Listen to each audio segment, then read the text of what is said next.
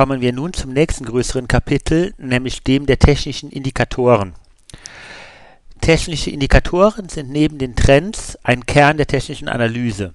Sie basieren in der Regel auf mathematisch-statistische Methoden, bei denen die Kursdaten einer Zeitreihenanalyse unterworfen werden. Es gibt da zwei verschiedene Arten von Indikatorengruppen. Das erste sind die Trendfolgeindikatoren und das zweite sind die Oszillatoren. Die Trendfolgeindikatoren, die äh, wendet man dann sinnvoll an, wenn man einen bestimmten Aufwärts- oder Abwärtstrend sieht. Die Oszillatoren hingegen ähm, bei Seitwärtstrends innerhalb von überkauft bzw. überverkauft Zonen. Das bedeutet, nicht jeder Indikator ist egal wann sinnvoll, sondern Sie sollten zuerst die Trendanalyse machen. Generell gibt es die Regel, es ist besser, einen guten Trade zu verpassen, als einen schlechten zu machen. In den USA gibt es ein Sprichwort, no deal is better than a bad deal. Also wichtiger ist wirklich auf Nummer sicher zu gehen, Kapitalerhalt, bevor Sie da zu hohe Risiken eingehen. Verwenden Sie nach Möglichkeit auch nicht einen einzigen Indikator, sondern versuchen Sie mehrere geeignete Indikatoren zu kombinieren und äh, nur dann einen Trade einzugehen, wenn die sich wirklich gegenseitig bestätigen. Wenn also mehrere Indizien dafür sprechen, dass Sie diesen Trade eingehen sollten. Ja, fangen wir an mit dem einfachsten Indikator, absolutes Basiswissen. Das sind die sogenannten gleitenden Durchschnitte. Da gibt es zwei verschiedene. Der einfachste ist der SMA, a Simple Moving Average. Das ist einfach der arithmetische Mittelwert zwischen Basiskursen aus einem Beobachtungszeitraum, wobei der Beobachtungszeitraum variieren kann. Man geht hin und nimmt alle Schlusskurse, summiert die und addiert die durch die Anzahl und bei dem einfachen gleitenden Durchschnitt hat jeder Tag das gleiche Gewicht. Das heißt, bei einem 10-Tages-Durchschnitt hat jeder äh, einzelne ja, Kurswert ein Gewicht von 10%, bei einem 5-Tages-Durchschnitt eben von 20%. Den gibt es noch etwas variiert, indem man keinen arithmetischen Mittelwert nimmt, sondern ein gleitender Durchschnitt, wo die Daten der letzten Tage mehr Bedeutung haben, also die sind nicht gleichgewichtet. Die neuen Kursdaten, die aktuelleren, haben dann eine exponentiell höhere Gewichtung. Ähm, dadurch reagiert der EMA, der Exponential Moving Average, etwas schneller bei Kursänderungen. Typische Betrachtungszeiträume sind 10, 20, 30, 38 und 50 Tage für die kurzfristigen Betrachtungen sowie 90, 100 und insbesondere 200 Tage für die langfristigen Betrachtungen. Es gibt da eine Grundregel, wenn sich der Kurs oberhalb seiner 200-Tage-Linie befindet, dann ist dieser Kurs generell in einem Bullenmarkt und äh, unterhalb der 200-Tage-Linie generell in einem Abwärtstrend langfristig, also in einem Bärenmarkt. So sieht das aus bei Amazon. Sie sehen, äh, Amazon ist in den letzten Jahren äh, fast ausschließlich überhalb der 200-Tage-Linie gewesen. Sie können auch nachsehen, wie der bei äh, der Corona-Krise mal ganz kurz den äh, unterschritten hat, die 200-Tage-Linie für einen gewissen Zeitraum, aber dann extrem schnell wieder zurückkam. Und generell war es gerade bei Amazon so, sobald äh, die 200-Tage-Linie berührt wurde, war das ein sehr guter Einstiegspunkt. Ja, auch hier vor 2018, da hätte man zum Beispiel einiges an Gewinn machen können, wenn man immer kauft äh, bei Berührung der 200-Tage-Linie. Das wäre jetzt schon so eine erste mögliche Strategie äh, bei Amazon. Ähm, es gibt einen weiteren Effekt, wenn sich der Kurs zu weit von seinem gleitenden Durchschnitt entfernt, insbesondere von dem 200er. So kann man davon ausgehen, dass er plötzlich zu stark ansteigt. Ähm, wenn es dafür überhaupt keinen fundamentalen Grund gibt, so äh, erhöht das eben die Wahrscheinlichkeit einer Korrektur. Das war hier bei Twitter gewesen. Ja, das hier war schon relativ weit entfernt. Und dann gab es einen sprunghaften Anstieg und das ist dann wieder korrigiert worden. Ja, sobald Sie hier dann nachgekauft hätten noch, hätten Sie hier kurze Zeit später schon einiges an Verlust gemacht. Also es ist immer ein Problem, wenn der Abstand von der GD200-Linie oder hier von der EMA 200 plötzlich zu stark wird. Eben insbesondere dann, wenn gar keine Neuigkeiten vorliegen. Ja, kommen wir zum nächsten Indikator, der MACD, Moving Average Convergence Divergence. Das ist ein Indikator für eben das Zusammen- oder Auseinanderlaufen von gleitenden Durchschnitten. Das heißt, der MACD verwendet gleitende Durchschnitte, um sich selber aufzubauen. Das funktioniert wie folgt. Der MACD besteht aus zwei Linien, die beide unabhängig voneinander berechnet werden. Das erste ist die MACD-Linie. Das ist der EMA 26 typischerweise und von dem werden dann die Werte des äh, EMA 12 subtrahiert. Und die zweite Linie ist äh, EMA 9 und das nennt man dann Signallinie. Wichtig ist halt, dass diese zweite Linie kurzer äh, terminiert ist, also kürzer läuft. Hier in dem Beispiel 9 äh, Tage. Das wäre also dann ein MACD 26129. Das ist so der Standardindikator, der sehr oft verwendet wird. Diese beiden Linien zusammen ergeben dann den Indikator. Eine steigende MACD-Linie signalisiert einen Aufwärtstrend, eine fallende einen Abwärtstrend. Was bei diesem Indikator interessant ist, mit ihm kann man selber schon Kauf- und Verkaufssignale generieren, denn wenn die MACD-Linie die Signallinie von unten nach oben kreuzt, hat man ein Kaufsignal und andersrum eben ein Verkaufssignal. Und anhand von diesen Boolschen ja, Ergebnissen könnten Sie dann schon traden. Äh, und je größer der Abstand zwischen den beiden Linien ist, desto stärker ist der Trend. Das heißt, Sie haben zusätzlich noch eine Aussage ja, über die Stärke des Trends, ob es jetzt nur ein leichter Aufwärtstrend ist oder ein starker. So sieht das aus an einem Beispiel. Ähm, Sie haben dann hier die MACD-Linie und die Signallinie dazu. Immer dann, wenn die MACD die Signallinie von unten nach oben kreuzt, haben Sie hier ein Kaufsignal, von oben nach unten ein Verkaufssignal. Ja, und so hätte man dann schon Trades laufen lassen können. Ähm, Sie können das gerne mal in einer Webplattform äh, eingeben, dass Sie quasi den MACD verwenden äh, bei einem Kurs und dann schauen, wie der Kurs in der Vergangenheit war, ob Sie dann damit Gewinn gemacht hätten oder nicht.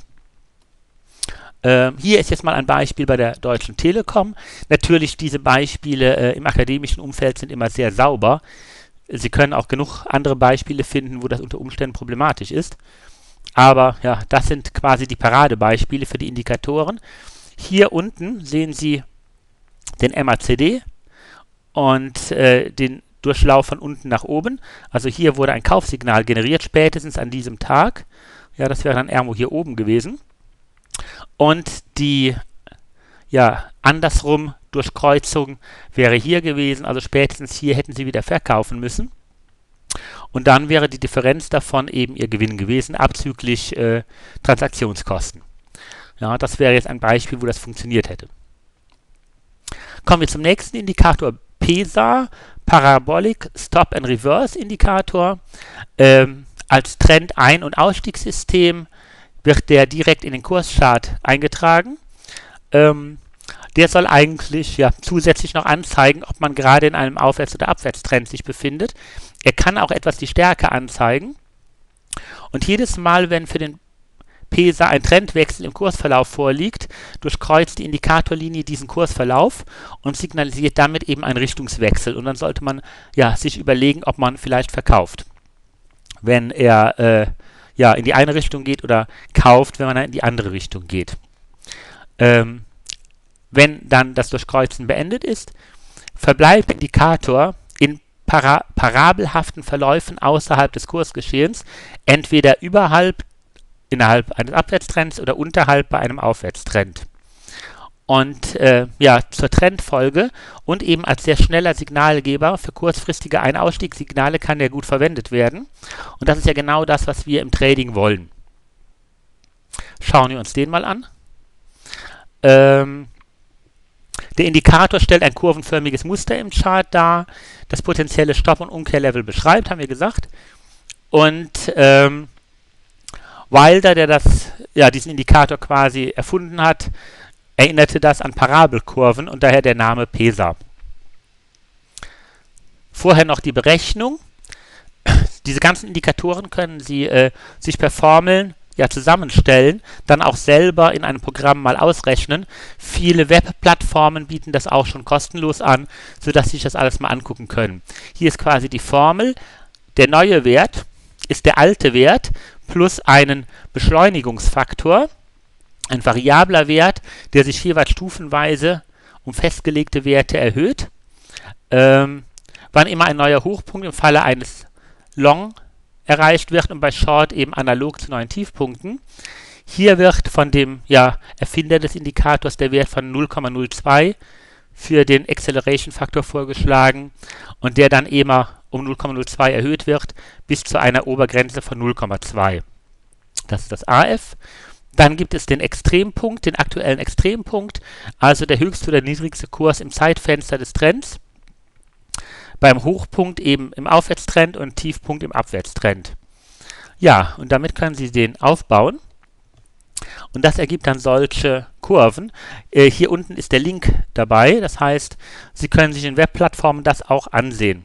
Ja, hier sehen Sie zum Beispiel einen Aufwärtstrend. Der wird dann hier in einen Abwärtstrend umgewandelt, in einen Aufwärtstrend und so weiter. Und wenn die Kreuze weit auseinander sind, dann ist der Trend entsprechend stark. Das können Sie auch noch sehen. Ja, Immer dann, wenn äh, die Kreuze eben hier ja, aufgedehnt sind. Jetzt können Sie natürlich sagen, in gewisser Weise sieht man ja den Aufwärtstrend E direkt am Kurschart. Nur es gibt so Zwischenformationen wie hier, ja, wo Sie eben vielleicht nicht unbedingt einen Trend erkennen. Ja. Das hier zum Beispiel als Aufwärtstrend finde ich jetzt ja ein bisschen merkwürdig. Es kommt aber hier aus dieser Gesamtlinie. Also sehr interessant auch den zu interpretieren. Ja, kommen wir nun zu den Oszillatoren. Die pendeln aufgrund ihrer Berechnungsweise ständig zwischen zwei Extremzonen hin und her, sind dann, hatten wir eben schon gesagt, gut in Seitwärtstrends.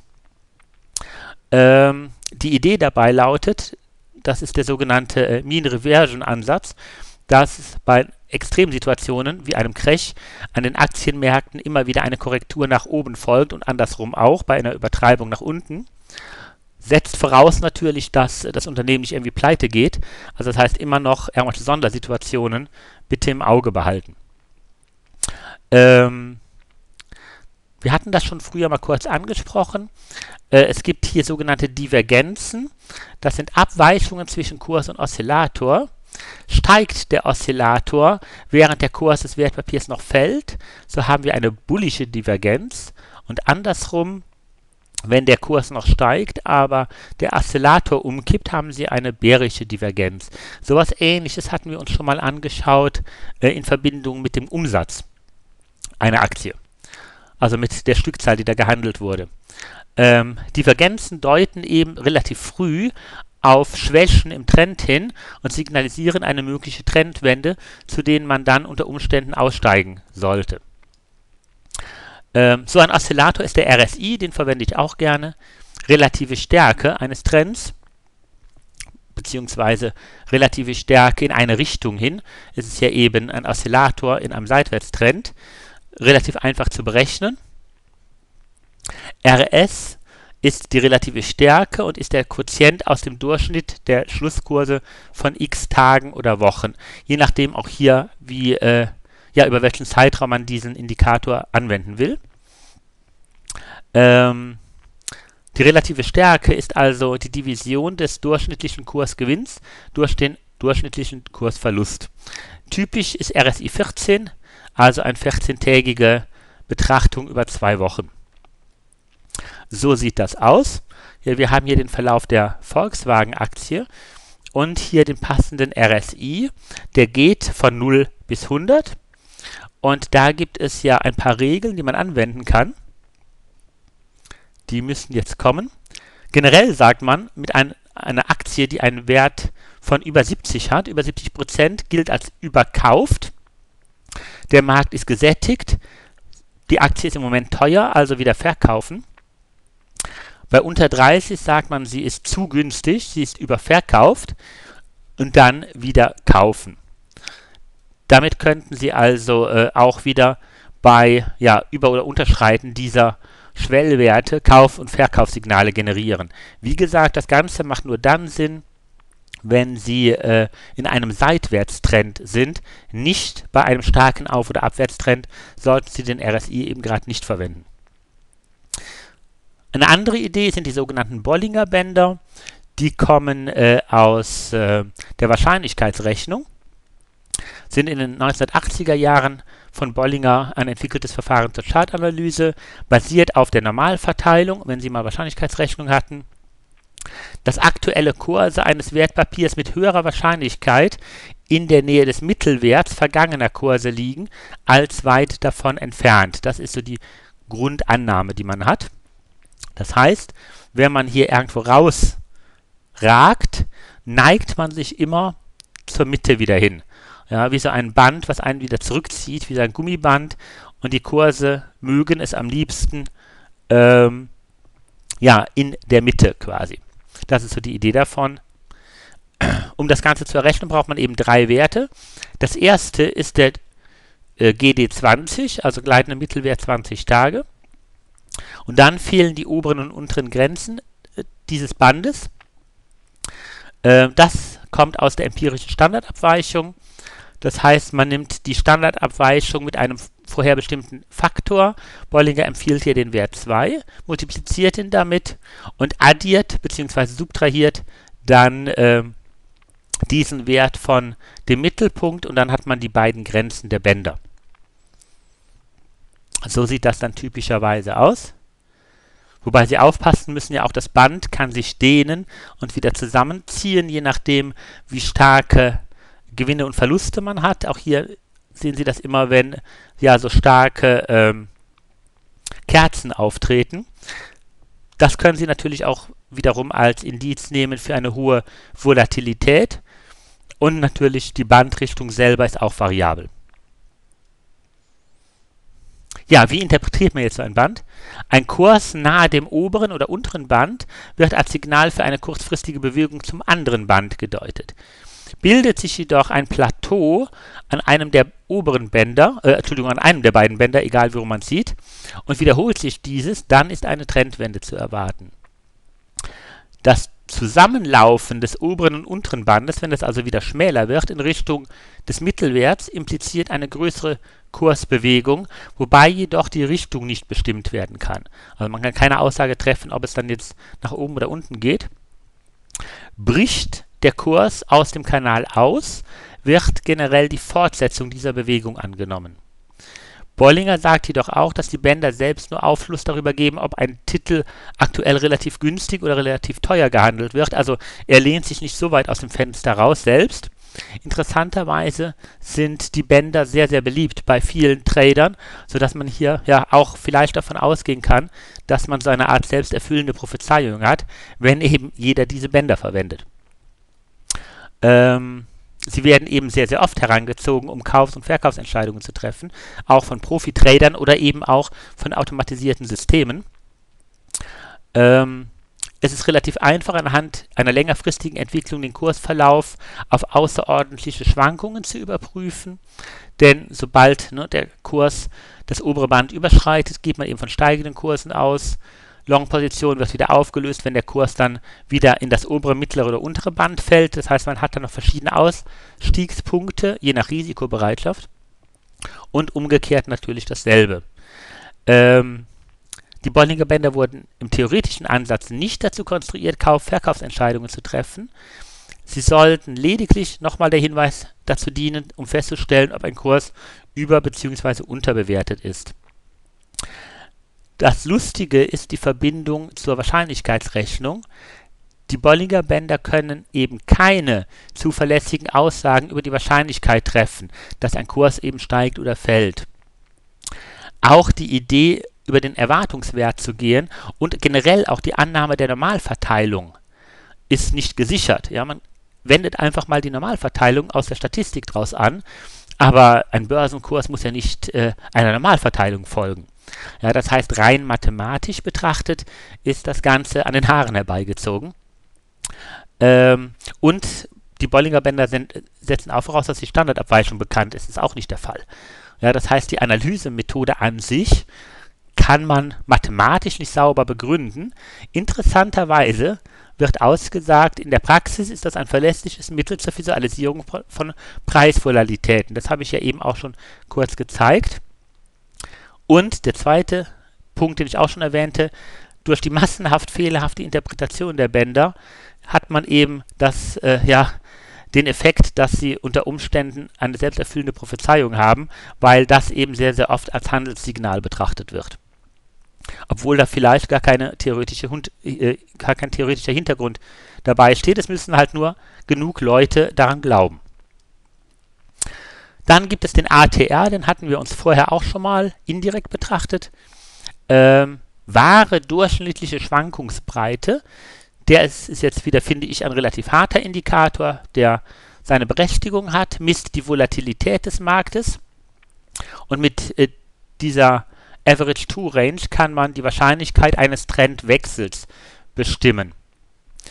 Ähm, statt nur auf die tägliche Handelsspanne zwischen Hoch und Tief zu schauen, werden hier auch Gaps mit berücksichtigt, was nicht alle Indikatoren können.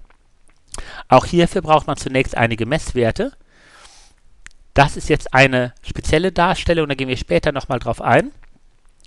Ähm, das ist quasi ein Tageswert oder ein Stundenwert.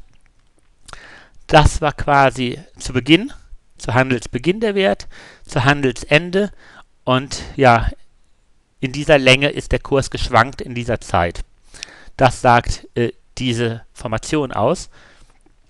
Ähm, wenn man jetzt den ATR messen will, nimmt man einen äh, Wert S1. Das ist aktuelles Tageshoch minus aktuelles Tagestief. Ja, also einmal die gesamte Spanne. Wenn der heutige Schlusskurs über dem von gestern liegt, dann wird S2 genommen, eben das aktuelle Tageshoch minus Schlusskurs gestern. Ansonsten andersrum. Ja, das wäre dann S2 und S3. Je nachdem, welchen Fall man hat. So, und aus dieser Fallunterscheidung ergibt sich dann die True Range als maximal vorhandene Kursspanne aus S1 bis S3. Dieser Wert ist noch sehr volatil. Der wurde hier mal direkt aus, äh, aufgetragen. Ja, damit kann man noch nicht so viel anfangen. Der ist noch nicht gemittelt worden, noch nicht geglättet worden. Und deshalb macht man daraus eine Average True Range, indem man einfach die durchschnittliche Schwankungsbreite nimmt. Die Bildung eines Durchschnitts glättet immer die Kurve. Und auch hier hat sich etabliert, 14 Tage zu verwenden, also zwei Handelswochen. Und dann habe ich so einen Effekt. Eine hohe ATR spricht für eine hohe Volatilität, also ja, eine Nervosität am Markt. Niedrige ATR-Werte sind für Konsolidierungsphasen typisch, beziehungsweise für Markttops. Und andersrum ist die ATR hoch, so ist ein Trendwechsel wahrscheinlich. Hier haben wir genau den Fall. Der ATR springt an, das war jetzt beim DAX. Das heißt, an dieser Stelle konnten Sie davon ausgehen, wo das hier so ja, spontan hochging, dass der Abwärtstrend bald gestoppt wird. Und hier ja, ging er wieder runter.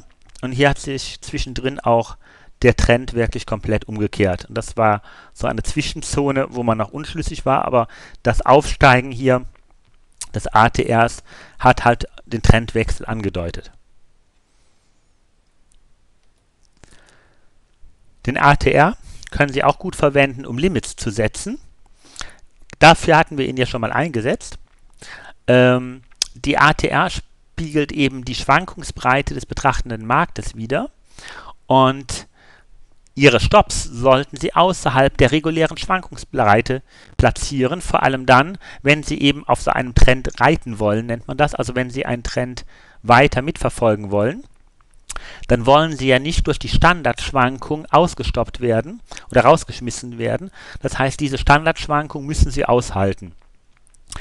Und dazu geht man hin, man nimmt sich den ATR, macht eine Sicherheitsspanne darum, also ein Vielfaches davon, um eben den Stopp äh, festzusetzen, wann sie aussteigen, oder auch den Trailing Stop, um Gewinne mitzunehmen. Typisch ist, den dreifachen ATR zu nehmen, um eben genügend Raum für ja, diese Standardschwankung zu gewährleisten. So sieht das aus. Äh, hier wurde mal die zweifache ATR genommen und der ATR auf Basis von 10 Tagen. Und dann sehen Sie hier den Kursverlauf des DAX Performance Indizes und hier unten immer minus 2 ATR. Ja, das heißt, das hätte ein Trailing Stop sein können und an dieser Stelle wären sie dann ausgestoppt worden und hätten bis dahin den Gewinn, wenn sie investiert waren, eben mitgenommen unter Verwendung des ATRs. Und Sie sehen halt sehr, sehr oft, ja, haben Sie hier diese sch größeren Schwankungen. Die dürfen eben, wenn keine weiteren Ereignisse eintreten, sie nicht ausstoppen. Hier ist jetzt irgendwie ein, eine Trendumkehr eingetreten. Sie haben drei stark fallende Kerzen. Ja, und irgendwann im Trailing Stop hat das eben dann dazu geführt, dass äh, sie rausgenommen worden sind und dann eben hoffentlich noch mit Gewinn verkauft haben. Es gibt noch eine dritte Art von Indikatoren, das sind die Trendstärke-Indikatoren.